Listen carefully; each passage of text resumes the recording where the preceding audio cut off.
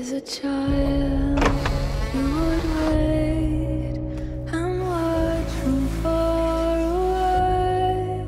But you always knew that you'd be the one that would while they all play. And you,